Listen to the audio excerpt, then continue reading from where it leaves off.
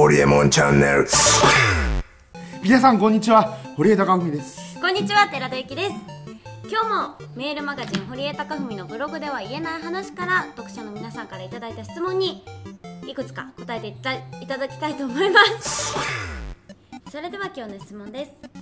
質問なんですが先日国立競技場近くを通り過ぎた時すごい数の人たちに遭遇したのですがそれが嵐のコンサートだと知りました。国立競技場を埋めるほど集客できるのは本当にアイドルのトップであることの証明でありすごいことだと思うのですがジャニーズのビジネスモデルはどのようなものだと分析されますか？また今後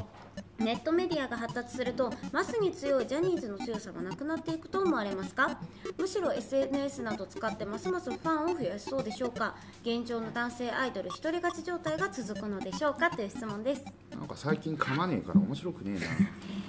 えな。ということで今週の質問に答えていきたいと思います。はい。寺田カメラが進化したんです。はい今日のゲストおはえっと昨日に引き続いてインターステラテクノロジーズでロケットを作ってる稲川くんです、よろしくお願いします。はい、またミスマッチングな質問ですけど。ね。はい。ジャニーズの話です。よろしくお願いします。全然わかんないですね。ホリエモンチャンネルはい。ということで、えー私はこういうふうに答えました、えーやっぱりこういうイベントに足を運ぶのは圧倒的に女性が多いし、長くハマってくれるのも女性です、宝塚と,、うん。とかもそ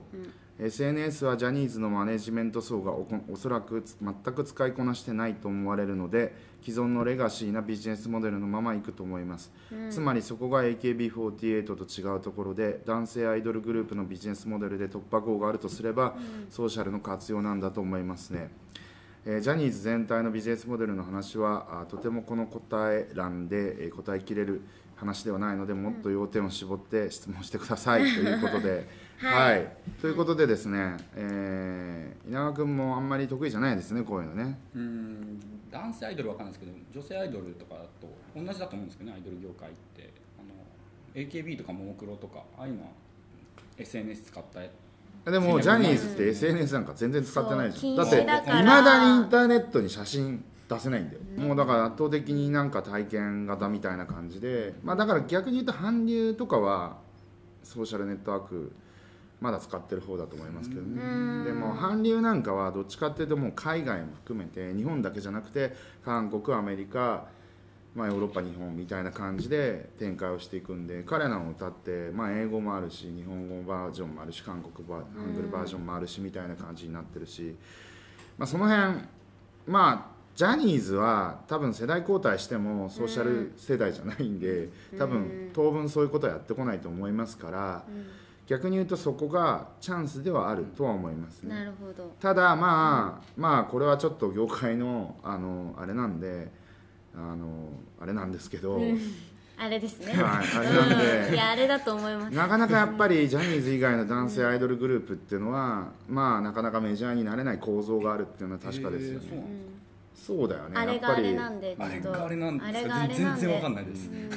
まあなんかね、まあ、別にこれ多分偶然だと思うんですけどなんか男性アイドルグループがすごくなんか活躍をしてる会社の社長がなんか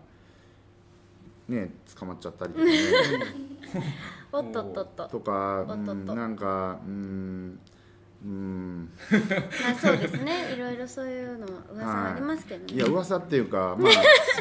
まあそれ一つ一つのことは事実なんだけど、まあいろんなことがあるということで、なかなかやっぱりこうまあ難しいとは思いますけどまあただソーシャルの時代にずっとそういうのが続いていくかっていうと僕はそんなことはないと思うんで新しい人たちがどうやって来るかかっていうとソーシャルを使って一気にドカーンと来る人が出てくる可能性は非常に高いと思いますよ僕は。はいあの一気にもうえーっていうぐらいの 状態でブワーって広まっていってまあ多分韓流がそうだったと思うんですけどそういう形で来るんじゃないかなと僕は思いますね。うん。はい。じゃあそんな感じで。はい以上です。はいありがとうございありがとうごましざいました。たホリエモンチャンネルチャンネル登録もお願いです